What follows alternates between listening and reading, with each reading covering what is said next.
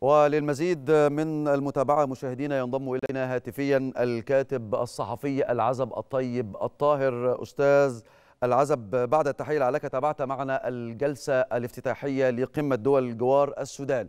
مصر تؤكد عبر الأفعال والمواقف أنها الشقيق والسند لأشقائها العرب والأفارقة. وها هي تستضيف اليوم مؤتمر قمة دول جوار السودان. كيف ترى أستاذ العزب تحرك المصري من حيث التعامل؟ مع الوضع الحالي في السودان وأيضا مستوى التمثيل رفيع المستوى. بالتأكيد دعوة مصر لعقد هذه القمة في العاصمة القاهرة تجسد حقيقة جيوستراتيجية إن صح التعبير تتمثل في أن السودان أو أمن السودان هو جزء من الأمن القومي المصري وأن استقرار السودان هو استقرار لمصر ومن ثم نعم. تحركت مصر ليس عبر هذه القمة ولكن منذ اندلاع هذه الحرب العبثية تحركت باتجاه دعوة الأطراف المتصارعة إلى وقف هذا الصراع الذي لا قيمة الذي لا جدوى منه لأنه يؤثر بالسلب على مقدرات الشعب السوداني ويؤثر أيضا بالسلب على دول الجوار وعندما تستضيف القاهرة هذه القمة برئاسة الرئيس عبد الفتاح السيسي وحضور رؤساء ودول ورؤساء حكومات في هذه نعم. القمة عبر تمثيل رفيع المستوى فيها يعكس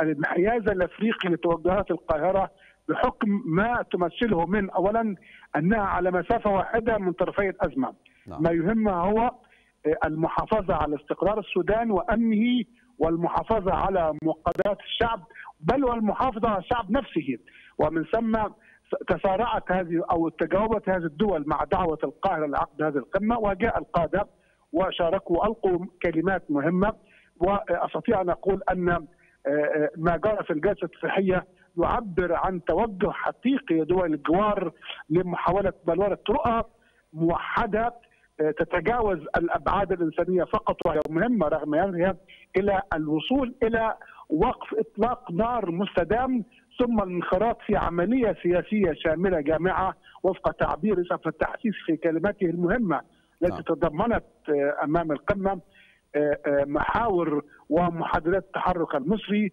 أيضا تضمنت الرؤية المصرية طيب. التعامل مع الأبعاد الإنسانية والجهد المصري في التعامل مع هذا البعد طيب. الإنساني والذي بدأ منذ الأيام الأولى عندما استضافت حتى الآن نعم. يعني آلاف أو عشرات الألوف من, من الذين يعني. انضموا كما م. قال الرئيس عبد الفتاح السيسي إلى خمسة مليون مواطن سوداني في القاهرة نعم. وبالتالي الأمور طيب إذا وضعنا إذا أردنا أن نضع أستاذ العزب أستاذ العزب إذا سمحت لي إذا أردنا أن نضع الأولويات المصرية وإذا يعني إن صح التعبير الروشتة المصرية التي أطلقها السيد الرئيس عبد الفتاح السيسي اليوم في سبيل حل هذه الأزمة السودانية، هل نحن نتحدث عن المساعدات، نتحدث عن وقف كامل لإطلاق النار، نتحدث عن حوار وطني. ترتيب هذه الأولويات في وجهة نظرك؟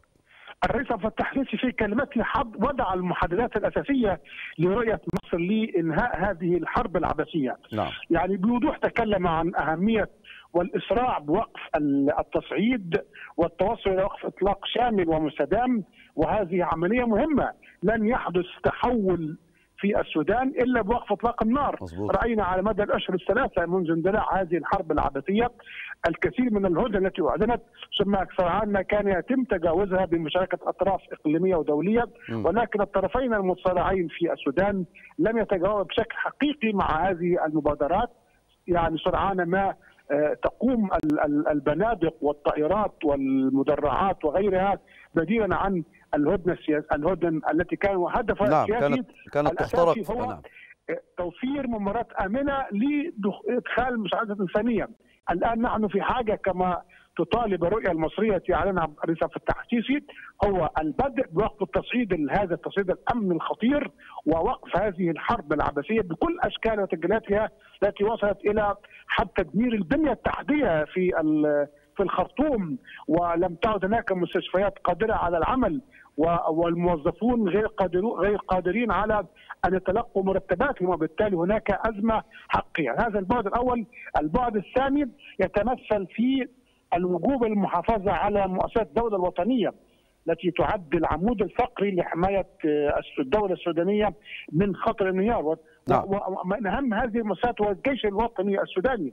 لا يجب طيب. أن يتم العبث بهذا الجيش من قبل الميليشيا أو من قبل هذا الطرف أو ذاك لأنه من دون هذا الجيش سوف تنهار الدولة السودانية وسوف نتعرض أو تتعرض السودان إلى إلى إلى إلى الوصول إلى هذه الدولة الفاشلة كما حدث في دول أخرى في المنطقة نعم. وهي ازماتها ما زالت مستمرة حتى الآن. البعد الثالث في مسألة التصور المصري هو دعوة دعوة الأطراف السودانية إلى حوار جامع بمشاركة مختلف القوى السودانية سواء مدنية أو عسكرية بهدف التوصل إلى بلورة رؤية سياسية شاملة تلبي تطلعات الشعب السوداني الذي حددها في ثورته المجيدة وهذا التعبير للرئيس عبد الفتاح السيسي في كلمته التي انطلقت في 2019 التي تسعى إلى تحقيق الحرية والعدالة والسلام والأمن في هذه الدولة نعم. العامرة بالمقومات والمقومات البشرية والطبيعية والثروات لكنها غير قادرة على توظيفها نعم ضيفي الكريم يعني نعم. نعم هناك مبدأ واضح يعني لا يدع مجالا للشك وموقف مصري ثابت حيال هذه الأزمة كما هو الحال تجاه كل الأزمات في المنطقة والعالم أجمع. وهو مبدأ الحياد الذي تصر مصر على الإفصاح عنه دوما منذ بداية الأزمة. الحياد ما بين الأطراف أطراف الأزمة في نفس الوقت هناك انحياز لمصلحة الدولة السودانية وللشعب السوداني. في في رأيك كيف يمكن البناء على هذا الموقف في حل هذه الأزمة؟ يعني في تقديري هذا الموقف المصري متمثل في الوقوف على مسافة واحدة من كل أطراف الأزمة في السودان وهو ما كان يجري مع الأزمة في في ليبيا ومع الأزمة في سوريا ومع غيرها. ولكن في السودان الوضع أكثر أهمية بالنسبة لمصر بحكم كما ذكرت التقارب الجغرافي والسياسي والتاريخي والتداخل الشعبي بين شعبي البلدين وأمور كثيرة يعني يعرفها الجميع ودارسوا العلوم السياسية والجغرافيا والتاريخ. ومن ثم وقوف مصر على مسافة واحدة من هذا الطرف هو ما يجعل الشعب السوداني أو السودانيين أكثر فهما وإدراكا وتفاعلا مع متطلبات المبادرة المصرية وربما سيكون ذلك هو العنصر الفاعل في المرحلة المقبلة لأن يتم انخراط الأطراف السودانية في هذه المبادرة المبادرة المصرية التي تستهدف إلى جمع كل هذه الأطراف في حوار شامل يقود إلى عملية سياسية شاملة كما ذكرت تلبي تطلعات الشعب السوداني. أيضا من ضمن من ضمن المقترحات أيضا تشكيل لجنة اتصال دولي للتعامل مع الأطراف السودانية لحل هذه الأزمة. إذا أردنا أن نستبق الأحداث ونتحدث عن توقعاتك لاستجابة الأطراف السودانية لمثل هذه المخرجات. أنا في تقديري سوف تتجاوب هذه تتجاوب هذه الأطراف مع هذه المخرجات لأنها الآن بعد بعد أشهر ثلاثة من الاقتتال الدموي لم يحسم طرف منها الصراع عسكريا وبالتالي هي الآن في مرحلة تتطلب العودة إلى نوع من الحلول السياسية ويأتي موقف القاهرة الآن وانعقاد هذه القمة بكل بهذا المستوى الرفيع من القادة ورؤساء الحكومات ليقدم هذه الرؤية السياسية التي يمكن لو لو وظفها وظفتها الأطراف المتسارعه في السودان توظيفا حقيقيا انطلاقا من مصالح السودان. وليس مصالح هذا الطرف وبالذات هذا الطرف أو ذاك وبالذات يعني أنا أتكلم بوضوح الميليشيا التي تحارب الجيش السوداني. يجب عليها تتخلى عن عن عن عن, عن مفهومها لحكم السودان ثم محاولة فرض هيمنتها على القرار السوداني.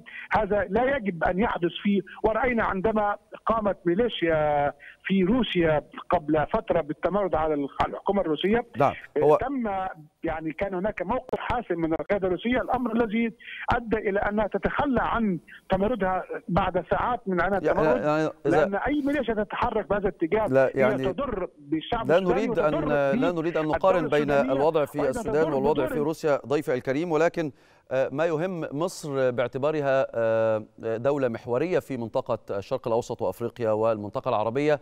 هي تنتهج نهجا واضحا ومحددا وهي الوقوف على الحياد من كافة الأطراف والبحث دائما عن حلول سلمية وسياسية للأزمات في المنطقة تحمي وتحفظ مقدرات الدول وسلامة شعوبها. ضيفي الكريم الأستاذ العزب الطيب الطاهر الكاتب الصحفي كنت معنا على الهواء مباشرة. شكرا جزيلا لك.